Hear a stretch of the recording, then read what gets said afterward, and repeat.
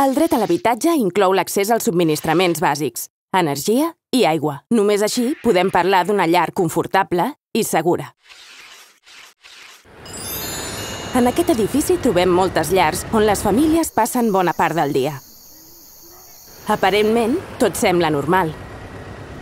Però a Catalunya hi ha 320.000 famílies que tenen problemes per fer front a les factures dels subministraments bàsics. Aigua, gas i llum. A Catalunya, aquests serveis bàsics estan en mans de tres empreses privades en règim de quasi monopoli.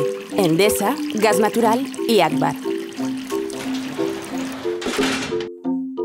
Aquesta situació els permet pràctiques abusives.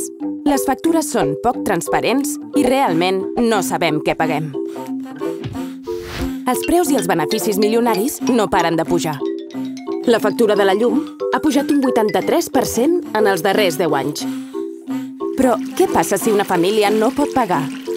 Talls de subministraments. No és el mateix passar 24 hores amb llum, aigua i gas que sense. On és l'administració pública mentre passa tot això?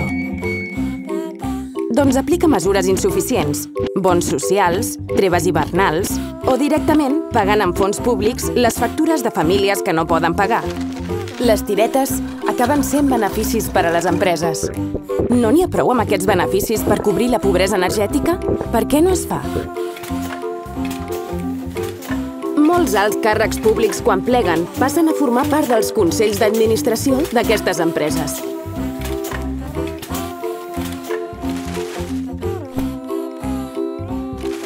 L'accés a l'aigua i l'energia és un dret universal i s'ha de garantir.